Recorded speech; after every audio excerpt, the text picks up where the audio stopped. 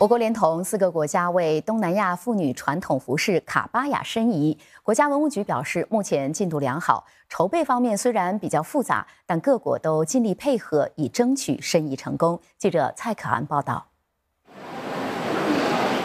兰花和茉莉花做点缀，传统又时尚的剪裁和刺绣，六套由本地设计师精心制作的卡巴雅，周二起在国家博物馆展出。新加坡、马来西亚、文莱、泰国和印度尼西亚联手向联合国教科文组织申请，将卡巴雅列为人类非物质文化遗产。申遗结果预计明年年底公布。那当然是筹备方面是比较复杂一点。我们组织了很多小组讨论会，跟呃五十一位代新加坡的代表，就包括了那个卡巴亚设计师啊、裁缝师啊、教育者啊，还有 Peranakan Association 的成员啊，一同呃分享这个生意过程。他们也提供了很多资料啊。很多人就跟我讲，这是传统的服装，你不可以把它变。如果你变了，它就不是传娘惹服装了。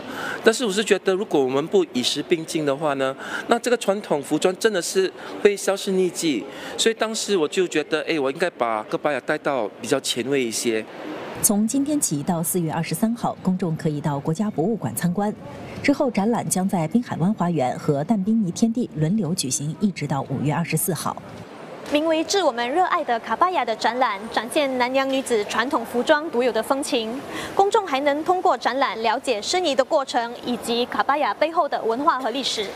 接下来，土生文化馆和马来传统文化馆还将陆续推出更多相关的活动和展出。新传媒新闻记者蔡可涵报道。